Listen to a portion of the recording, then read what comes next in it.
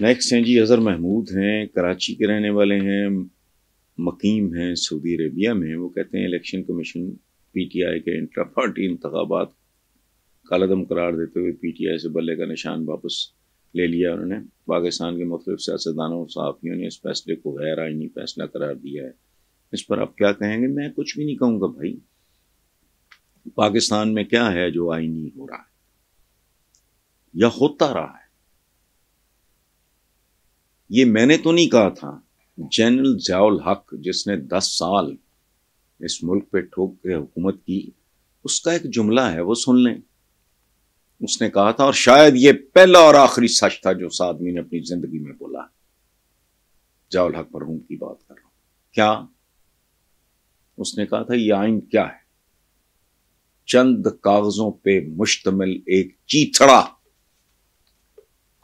इतनी सी किताब है। पढ़ के देखें कभी। उसमें जो कुछ लिखा हुआ है उसके मुताबिक अगर आप अवाम को देखें तो लगता है ये झूठ का ये लतीफ़ों का मजमुआ है। लतीफ़े भी कैसे जो मैं बयान नहीं कर सकता। सो so, ये इंट्रा पार्टी और दूसरी बात ये है कि इंट्रा पार्टी के इलेक्शन इलेक्शन पाकिस्तान में हम वेस्ट से मगरब से आई हुई चीज़ों को चूम चाट के रख लेते हैं अपनी औकात से हम वाकफ नहीं होते। मसलन इंट्रा पार्टी इंतबात एक अहमकाना बात है। ये वारदातियों की वारदात है, इससे ज़्यादा इसकी कोई औकात नहीं। मुझे एक बात बताएँ। पीपल्स पार्टी से भुट्टोज निकाल दें, क्या बचता है बाकी? कख भी नहीं। जिसका सबसे बड़ा सबूत यह है कि आसुर सरदारी साहब को बिलावल के साथ, बिलावल भुट्टो जरदारी। बिलावल तो जरदारी है।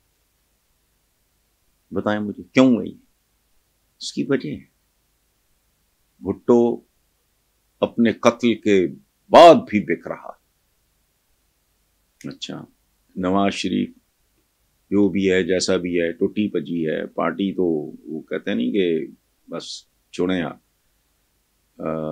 लेकिन बहरहाल, पार्टी है। आज नवाज़ शरीफ को माइनस कर दो। केड़ी पार्टी? इसी तरह पीटीआई पीटीआई भी एक फर्द वाहिद का नाम तो क्या इंट्रा पार्टी वगैरह। लेकिन ये चौंचले, नखरे, ये नाजो अंदाज, ये अदाएँ, ये वेस्ट से चुराई हुई टर्में हम सिर्फ़ उनके डंडे के सेकंड कपड़े नहीं पहनते। फेंके हुए कपड़े ही नहीं, उनके फेंके टकने भी जो फेंके हुए वाले। पार्टी क्या है? पार्टी क्या है? मुझे बताएँ। मौलाना फजल रहमान एंड कंपनी जो भी माइनस कर दो किधर है पार्टी?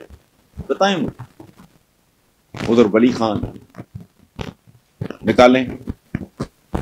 बाचा खान साहब का बेटा पोता क्या है सो इसमें इंट्रा पार्टी इंतबात ये वो लेकिन बहरहाल ये हमारी आवाम दुश्मन जमहूर दुश्मन जमहूरियत का एक एक अदा है, बस ठीक है। ये सवाल अबरार शाह साहब आपको करना नहीं चाहिए था। आपका नाम इतना खूबसूरत है आगे। शाह लिखा इतना मुझे बिल्कुल बेरब्त सवाल है। ये दो तिहाई अक्सरियत लेके, भारी मैंडेट लेके, यही नवाज़ शरीफ। आके जा चुका है ना? इसके होते भी सुर्खियाँ लगी। शेर आटा खा गया। इसके होते हुए इसके घर पे शाहजेब नामी, नहीं चंदजेब या शाह, नहीं चंदजेब चंदजेब नामी आदमी ने खुदकुशी की। जमाने में खुदकुशियाँ। ये करेंगे ये। हाँ जहाँ तक शहबाज शरीफ की इस बात का ताल्लुक है कि अवाम वाज अक्सरियत दें ताकि मुल्क को माशी, खुद नसारी और महँगाई से निजात मिले। तो ये हक है। हर सियासतदान का हक। शहबाज शरीफ हो, नवाज़ शरीफ हो जो जो भी हो, बिलावल हो। सियासतदान होता क्या है? सियासतदान वोटों का भिकारी होता है। मैं जो इनसे इतनी नफरत करता हूँ, उसकी वजह ये किसी भी मुल्क में सियासतदान वो वाहिद बंदा होता है। ये वाहिद कम्युनिटी है, जिसकी पहचान, जिसकी औकात आम आदमी का वोट होता पाकिस्तानियों के सबसे बड़े दुश्मन यही खबीज है। मैं इसीलिए कभी इस्टेब्लिशमेंट वगैरह कभी किसी को मैंने ब्लेम नहीं किया। ये इतने बेशर्म, बेहया, ये बेकारी हैं।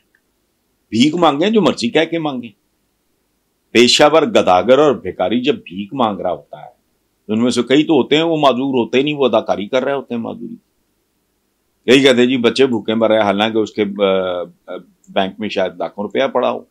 ऐसे भिखारी पकड़े भी जाते हैं। सो उनका ये कहना है कि अवाम बाजी है ठीक है, बाकी अगे ठगी है, दो नंबरी है, रंगबाजी है, नौसरबाजी है, वो मैं नहीं उस चक्कर में पड़ता।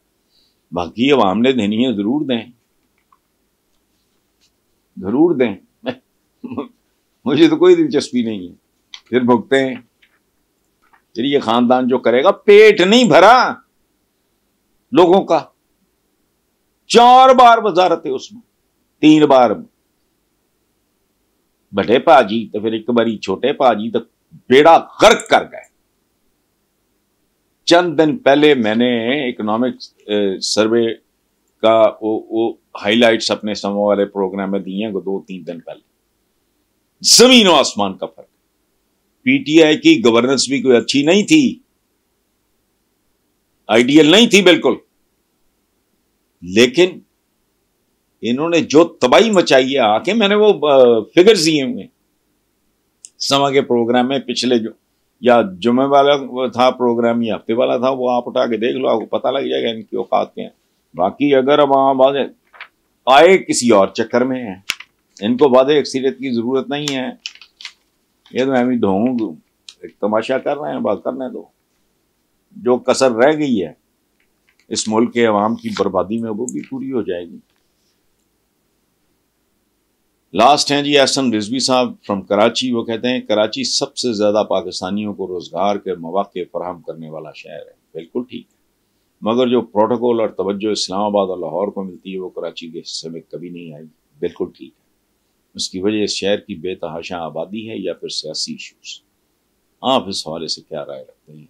देखें हसन भाई, गुजारिश ये मैं तो बेसिक सवाल आपसे करता हूँ। मैंने बिल्कुल ठीक बिल्कुल ठीक कहा बिल्कुल ठीक है। यही बात आपने की, मैं आपसे एग्री कर रहा हूँ। एक तो बेतहाशा आबादी। याद रखें, आबादी बहुत बड़ा एसेट भी है, बहुत बड़ी लाइबिलिटी भी है।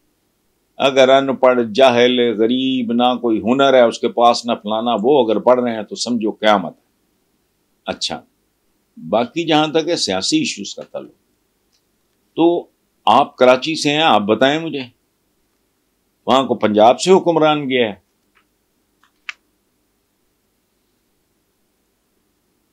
सिंध के हैं ना? सिंध, कराची क्या है? सिंध का हिस्सा है। ना कोई खैबर पख्तूनख्वा से गया है, ना वो कश्मीर से गया है, ना कोई बलोचिस्तान से गया है तो। अब इस सवाल का जवाब तो आप उनसे पूछे ना। जो इकतदार में रहे, अठारहवीं तरमीम के वक्त मैंने एहतजाज किया था कि ये होता, बात ठीक थी, लेकिन हम जैसे लोगों के लिए नहीं। इंसानों की ज़िंदगी में भी मराहल होते हैं। आप अपने नौ साल के आठ साल के बच्चे को गाड़ी नहीं देते।